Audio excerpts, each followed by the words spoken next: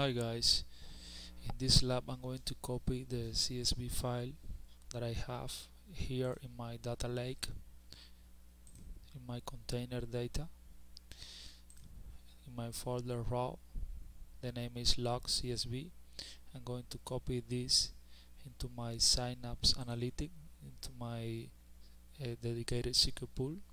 I'm going to do that uh, th uh, through uh, Azure Data Factory so the first step uh, is to create a copy da data tool. I'm, go I'm going to run once. I'm going to hit next. Here I need to I need to make a new connection so I go to hit new connection and I'm going to select here my data lake resource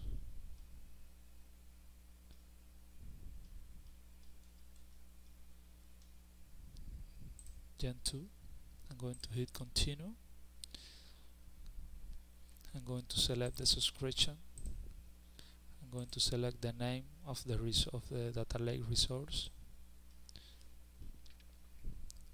I'm going to test the connection. You can see here that it's successful. So I'm going to create this uh, this link connection I'm going to unselect recursively because this is just uh, one time that I'm going to copy. I'm going to hit next. Here uh, you can see in the preview data uh, I forgot to select the the CSV file. You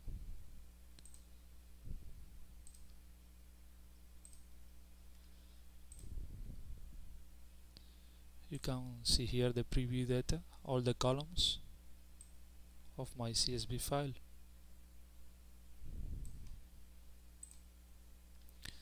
I'm going to hit next uh, you need to he uh, select here the first row as a header. I'm going to hit next.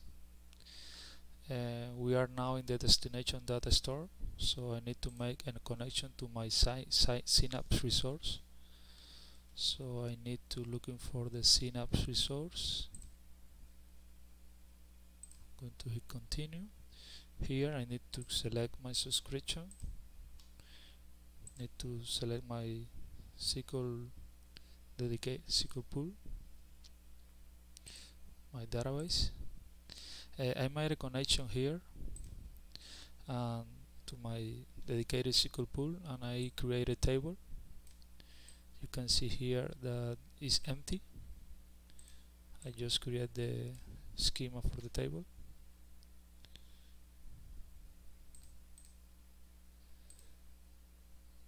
So then I'm going to populate uh, this table. I'm going to select the authentication type as SQL authentication so I need to get the username and the password. You can find it uh, right over here in the overview tab in the dedicated SQL pool. You need to copy the SQL and the name of the username.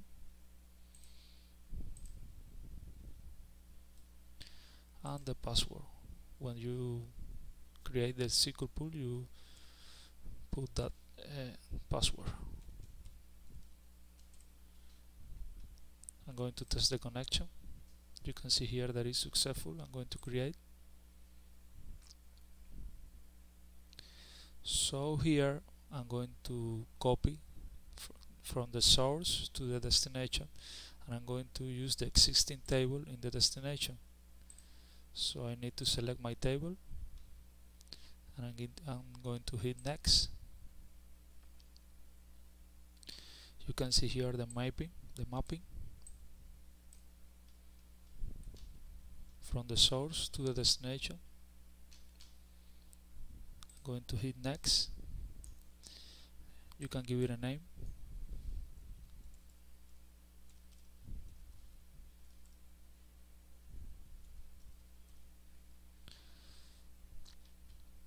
I'm going to select enable staging and I'm going to choose my data lake resource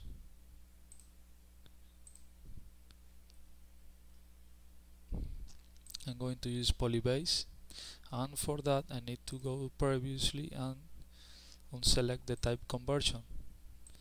And here I need to specify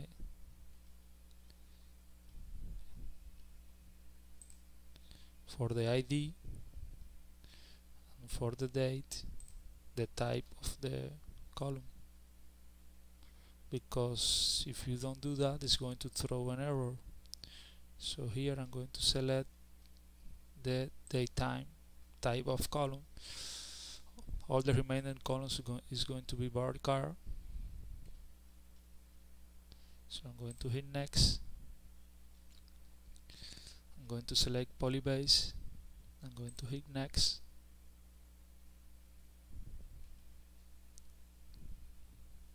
Everything is in place so I'm going to hit next it's in progress.